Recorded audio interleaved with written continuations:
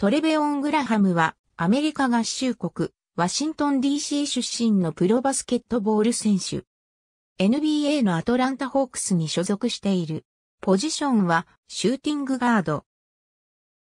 陸空で4年間プレーしたが、ドラフトで指名されることはなかった。2015年にサンアントニオスパーズの一員としてサマーリーグに参加し、8月17日にユタジャズと契約した。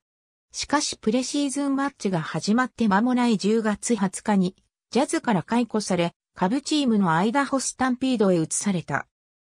2016年はオーランドマジックの一員としてサマーリーグに参加した。2016年7月26日にシャーロット・ホーネッツと契約した。ホーネッツで念願の NBA デビューを果たすこととなった。2017年4月10日のミルウォーキーバックス戦ではキャリアハイの14得点を記録した。2018年7月29日、クオリファイングオファーを拒否して FA となった。2018年7月30日、ブルックリンネッツと2年300万ドルで契約した。2018から2019シーズンはハムストリングの故障の影響もあり、出場は35試合にとどまった。